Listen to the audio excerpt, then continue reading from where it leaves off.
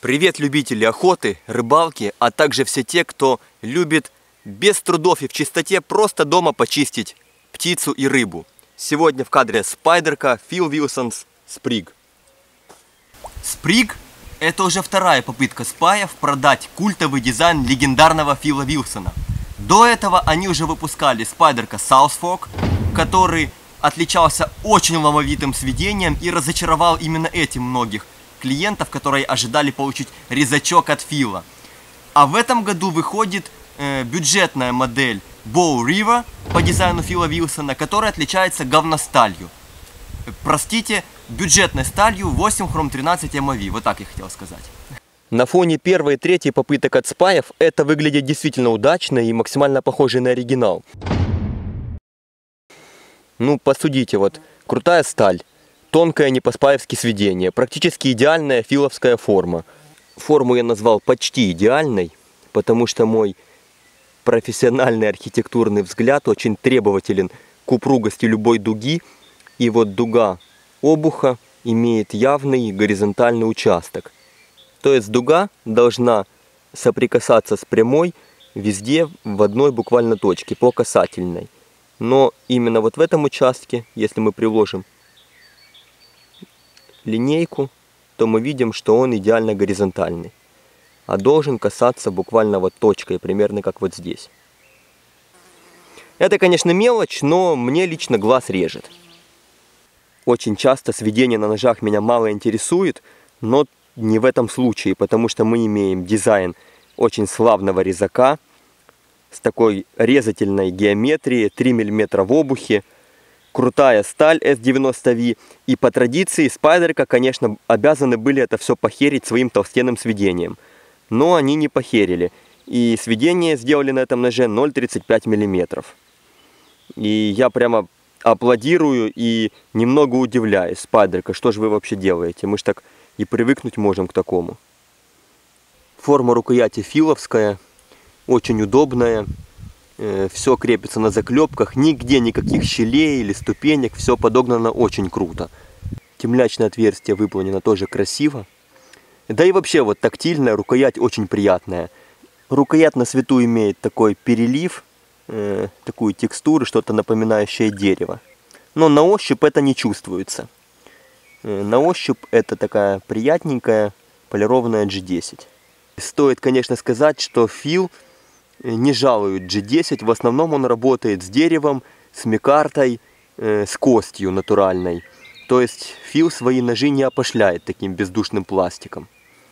Но, конечно, главное, что должно быть в таком ноже, это эргономика. И здесь я, пожалуй, покажу уже наглядно.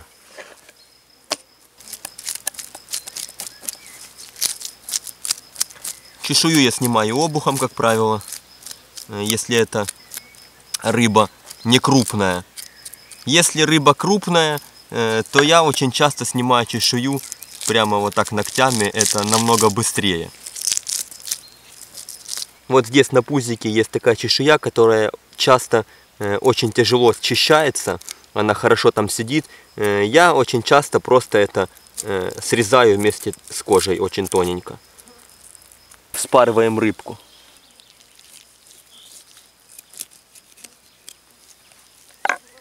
Настало время силового реза.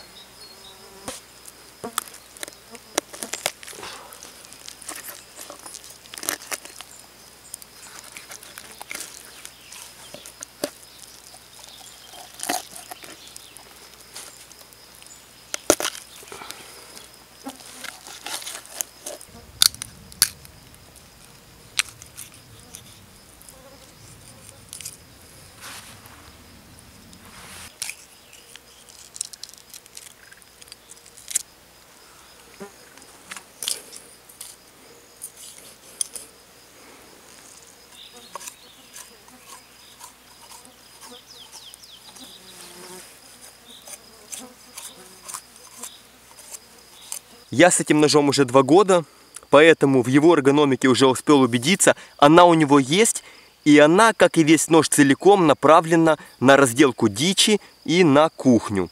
Это полностью заслуга Фила Вилсона, потому что сам он является заядлым рыболовом и охотником.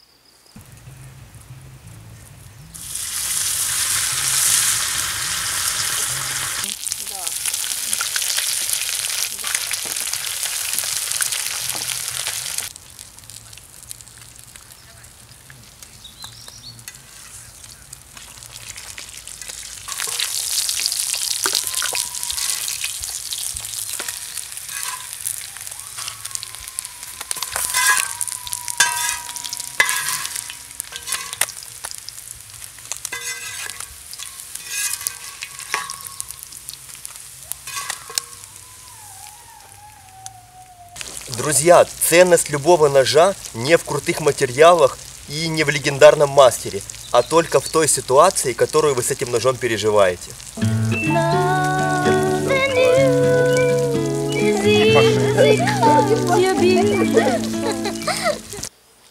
Хочу коснуться одного интересного момента. Э, сталь. Здесь на клинке S90V и она мне немного петингует. Хотя вот э, по отзывам других владельцев ножей Спадерка с этой сталью, они петинга не замечали. Не знаю, видно вам на видео или нет, но вот ближе к кромке такие э, бежевые очаги. Но что я хотел сказать про сталь. Я, честно говоря, очень слабо всегда могу оценить работу стали, когда меня спрашивают, ну как там в работе, вот та или иная. Написали бы здесь спаи S30V или там ZDP-189, я бы, честно говоря, э, даже не отличил бы это, особенно при работе по продуктам. Здесь S90V. Конечно, убогая заводская заточка, но при этом тонкое сведение, тонкий обух относительно, такая резательная геометрия. Э, вот ножу уже два года и по кромке такое равномерное затупление. Но за это время мне даже не захотелось ни разу его поправить. Не то что уж переточить. Поэтому для меня вот это наглядная иллюстрация того, что в ноже режет геометрия, а не сталь. И от какого-то предела маркировка стали это, скорее всего, всего лишь маркетинговый ход, а не функционал. Когда-то один мой друг ножедел на мой вопрос о стали К-110, что он о ней думает, ответил полушуточно, но полусерьезно – для меня, он говорит, любая сталь хорошая, в которой углерода больше 1%. Что-то в этом есть. Теперь коротко по ножнам. Э, ножны пластиковые и ножны неудобные. Э, нож они, конечно, принимают четко, с таким щелчком. И держится нож там очень крепко. Но мне не хватает такого зацепа под палец, чтобы вытащить отсюда нож. Э, я достаю нож всегда вот кромкой на себя. И в ношении эти ножны не очень удобные, потому что вот в эти два отверстия устанавливается клипса, и она находится очень низко относительно ножа. Э, нож на поясе вертикально, постоянно вот тыльником упирается в ребра. Ну а для горизонтального ношения, лично для меня этот нож уже великоват, конечно. Но это тот редкий случай, когда мне плевать на ножны, э, потому что нож этот идеален для так называемой полевой кухни, для других дел он, в общем-то, не очень подходит ввиду своей э, такой изящности, очень тонкого кончика. Вот вы можете сравнить кончики.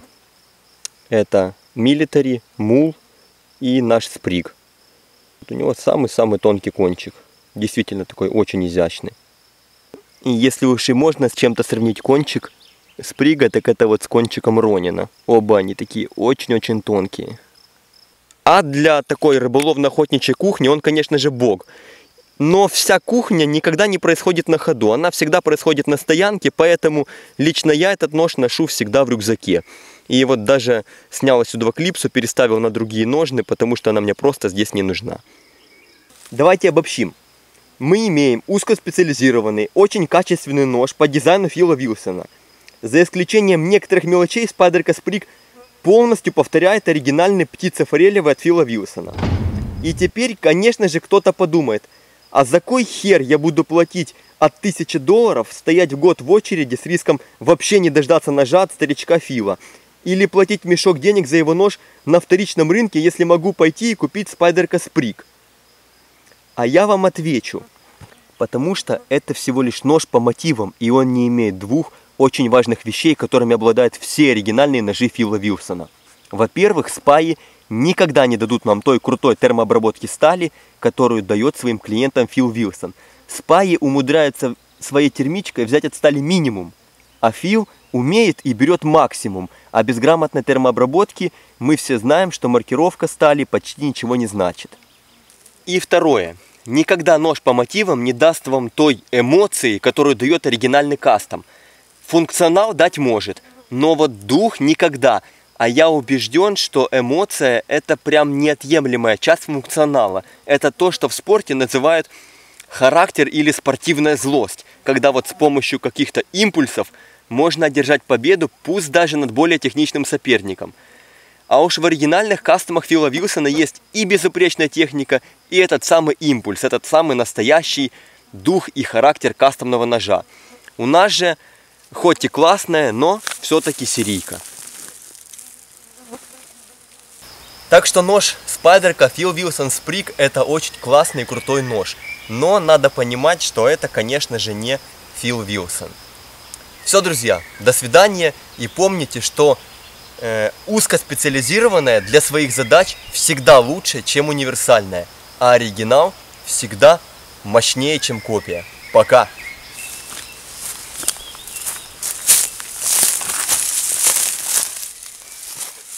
Процессе подготовки к этому видео я, как всегда, э, заглядывал на разные ресурсы и залез на англоязычную Википедию, честно говоря, в поисках лет жизни Фила Вилсона, потому что новостей я о нем давно не слышал, а дедушка он такой уже изрядно старенький.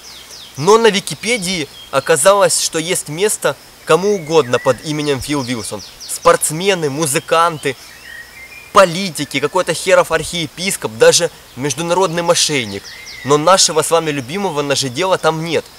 И это наш с вами позор, друзья. Потому что э, Фил Вилсон достоин того, чтобы о нем знали не только мы, больные нажиманы, но и обыватели. Давайте попробуем набросать хотя бы пару слов на каком-то более-менее грамотном английском языке и залить туда, начнем эту статью, она постепенно обрастет фактами, какими-то фотографиями. Фил Вилсон достоин этого? Давайте попробуем.